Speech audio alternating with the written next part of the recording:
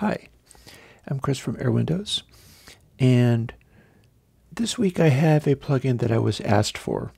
This is called dehiss, and I'm going to try to be brief because it's kind of thunderstormy out here, so I'm not sure whether I'm going to lose power. And I'm going to see whether I can keep the demonstration to a bit more of a minimum this time, seeing as this is a bit of a specialized plugin anyway. So here's the deal. Dehiss is kind of gaty and kind of filtery. And what it exists to do is find the level of sort of background noise and step on that, cut it down. It's not like a DS because it's not looking for the loudest sounds to filter. Instead, it's looking for quiet high frequency sound to filter so that you can have a sort of quieter background noise and I can demonstrate it in some loud, noisy rock and roll, and you turn it up so much that you can even hear what it does.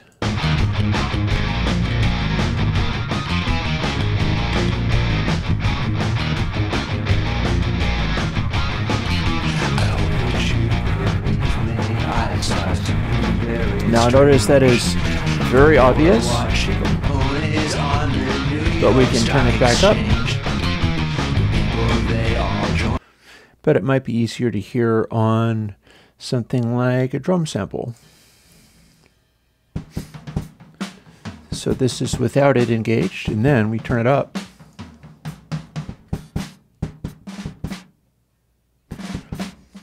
And that's a very powerful effect. That's rolling things off real hard. But we can go even more.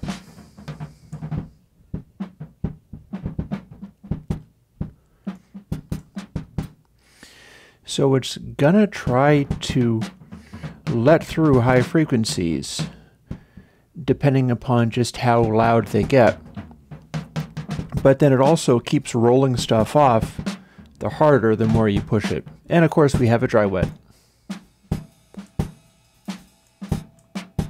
You wouldn't even know there was a cymbal there, would you?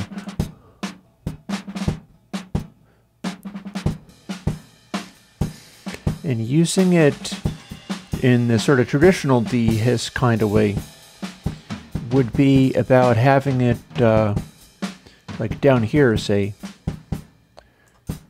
not even this far. And you can hear that when sounds are actually happening, it's opening up its little gate and the highs can come through pretty uh, freely. But then when we hit silences,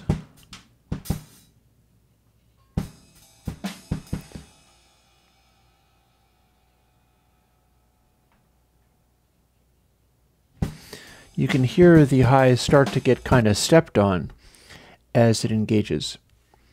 And we've also got stuff like here is the old sine sweep.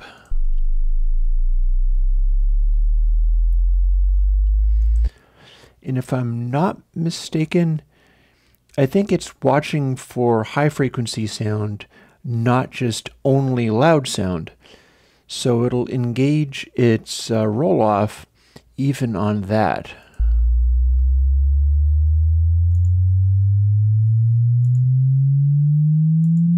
Maybe it is, maybe it's not.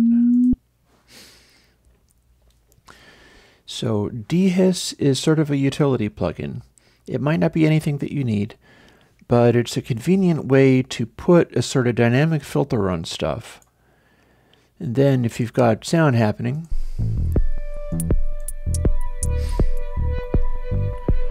and there's a reason that you need to suppress the sound and make it be less bright when there's no bright stuff happening, you turn it up.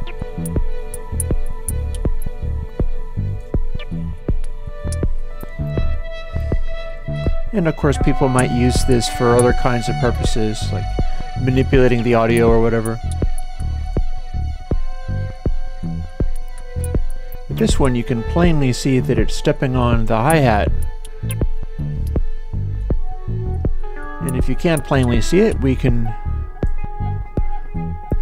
Crank it up until you'll hardly hear the hi-hat at all. Although bear in mind the, the louder the treble activity, the more it'll try to let it poke through anyhow. So we can really exaggerate the heck out of it And that incredibly loud hat is still going to try to poke through.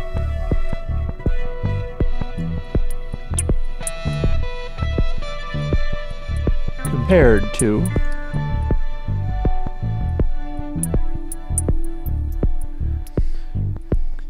In this we can hear in the reverb that uh, that hat is triggering the verb, but if we turn it on, maybe turn it up a little more.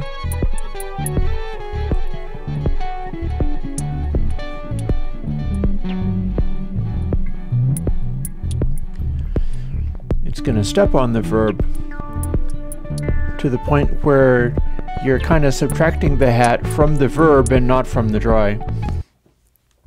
Anywho, that is dehiss. And I've been very busy. I've got some cool things that I'm working on, like a, uh, a method of improving on some very fundamental EQ algorithms that are widely used, namely biquad filters. And that's looking like it's going to lead to some cool things going forward, but more will be revealed on that one. Let me uh, put together the new stuff to put out that way. For now, dehiss is essentially free, but if you wanted to be like, this is worth being a commercial plugin, then go and add $50 a year to my Patreon, because that's how I work. And I'm still in a situation where if nobody was doing that, I wouldn't still be around doing this. So there is a pretty direct connection between that and me coming up with cool new things to do, which is kind of helped by the fact that since I'm an enormous audio and music nerd, um, if people throw money at me, I use it to build things that I can sell or give to people. And that is distinct from if people throw money at me, I buy fancy toys for myself, because if you buy like 10,000 LEDs or a bunch of printed circuit board material to build uh, Eurorack stuff with, um, that stuff can come back. And I like the way that works. So I guess more will be revealed as far as that's concerned as well. Um, in any case, I've got more plugins coming. I'll get back to work on those now. And I hope you enjoy dehiss. And I'll talk to you later.